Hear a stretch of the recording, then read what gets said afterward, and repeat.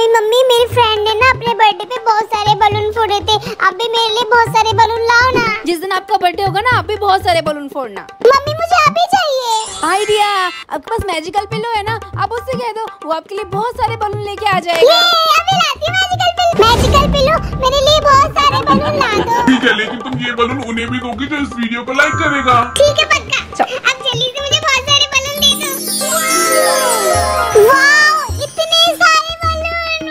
हमारा आपका magical pillow तो बहुत अच्छा है। ये आपकी मैचिंग का है? और ये